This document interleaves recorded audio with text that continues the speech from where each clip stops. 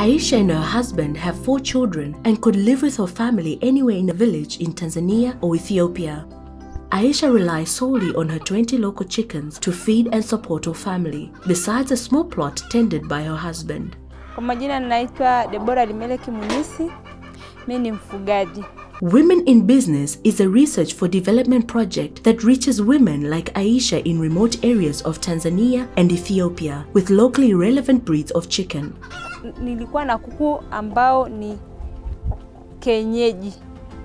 Sasa wale kuku kenyeji mimi nikaa wa, yani wanakula kwangu kwa hasara, kwa hiyo nikaamua kwenda kununua kuku wa wa kisasa kwa sababu wana nani kwa haraka. But what kind of chickens? The African Chicken Genetic Gains collaborated with women and men farmers to identify appropriate breeds for smallholders. Corolla was the preferred breed in Tanzania and Sasso in Ethiopia because they lay more eggs and are resistant to disease. But the brooders are still far from Aisha, who lives in a remote small village. How can we shorten these distances and get good breeds of chicken to Aisha? We came up with an idea. We are supporting young women veterinary graduates to act as vendors. Kazi yangu mimi ni venda lakini pia ni brooder. Ni brooder manake nachukua vifaranga day old wa siku moja na watunza mpaka siku 28 ambapo kwenye hicho kipindi nakuwa nawapa chanjo zao zote, chanjo tatu, kideri, ndui pamoja na gumboro. Baada ya hapo wakifika siku 28 nauza kwa wafugaji Sasa nikawa nimeongea na daktari wangu ambaye ananisaidia kufunani ng'ombe hapa kutibu ng'ombe, nikamwambia jamani, naweza kupata wapi kuku ambayo ni kroila, ambayo ni pure kroila na sio hao wa kufanyaje wa kuchakachuliwa.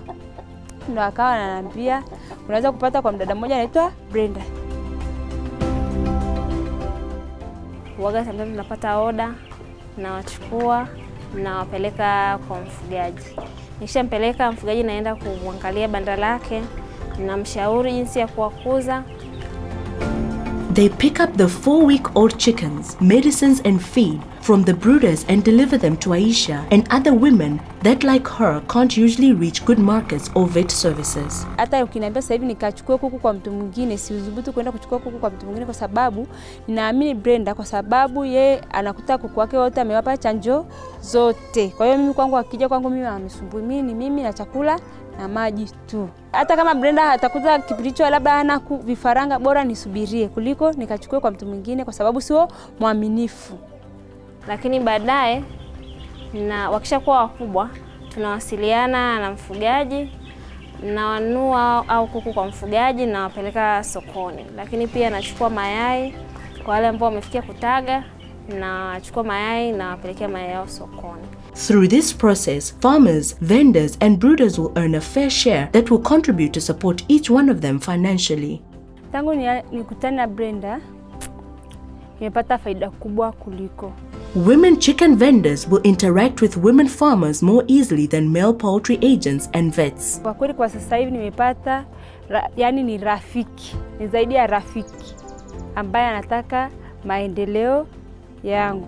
Kuku mfano akiwa ameugua au nikipata changamoto yoyote, nakuwa huru kumpigia Brenda simu na kuja kuja kuangalia kuku wangu au kuniagizia dawa. This way, women farmers from remote areas will more easily access good breeds, drugs, advice, and markets, thereby averting the risk of poverty.